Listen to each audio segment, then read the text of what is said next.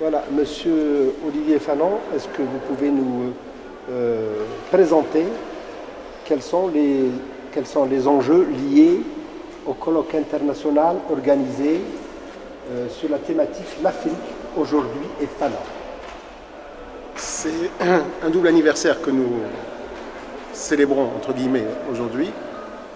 Les 50 ans de la création de l'OUA, Organisation pour l'Unité africaine, les 50 ans, 52 ans du décès de, Franz Fanon, et le cinquantenaire, enfin triple anniversaire, hein, allons-y, et le cinquantenaire de la libération de l'indépendance de l'Algérie.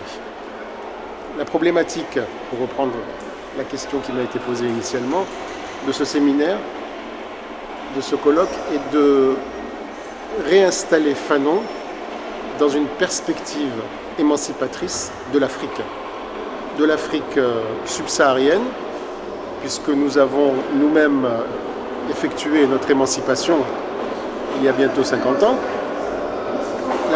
L'Afrique subsaharienne qui se retrouve confrontée au même problème, au même dilemme qu'elle a connu dans les années 60. Elle est en pleine recolonisation puisqu'elle n'a pas fait sa décolonisation. Elle est en pleine recolonisation. Et euh, nous sommes euh, un peu, si vous voulez, le, miroir, le miroir dans le sens, euh, miroir révélateur pour cette Afrique.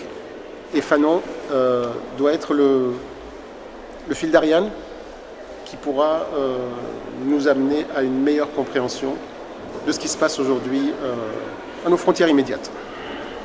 Donc on peut dire que plus que jamais, la réflexion, la pensée de Fanon est d'une pertinence actuelle. J'allais poser la même question à nos amis euh, sahraouis, à nos amis palestiniens. Je dis j'allais leur poser cette question, je leur ai déjà posé cette question. Et eux ne se posent pas la question de savoir si Fanon est d'actualité ou pas. Fanon est d'actualité. Fanon est dans le, dans le mouvement. Fanon est dans, la révolution. Fanon n'est pas dans la contemplation. Euh, beaucoup de, jeunes Algériens ici, même ce matin, à la Bibliothèque nationale. J'ai eu un petit entretien avec un, étudiant qui était en train de préparer ses examens. Il m'a demandé qui est Franz Fanon. il, avait un accent un peu frontalier, euh, à la limite tunisien. Par euh, provocation, je lui ai demandé s'il était tunisien. Il m'a dit non, non, je suis algérien, mais je ne connais pas ce, monsieur Franz Fanon. Je lui ai tu es originaire d'où? Il m'a dit de Ouedsouf. Ouedsouf, donc à la frontière algéro-tunisienne. Je lui ai dit, le marhoum, Shahid, Franz Fanon, est enterré à quelques encablures de, de, de l'endroit où tu es né toi-même. Alors que lui-même est né à 17 000 km d'ici, en Martinique. Voilà un peu l'actualité de Fanon et euh, la, j'allais dire, la, réalité de Fanon avec l'Algérie. Donc on peut dire qu'aujourd'hui, il faut vivre Fanon.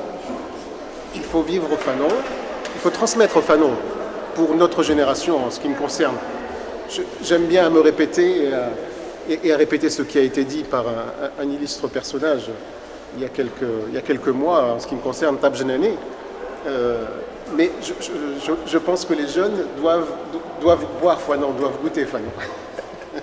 Donc plus que jamais, plus que jamais, l'Algérie, le continent africain a un besoin urgent de Fanon.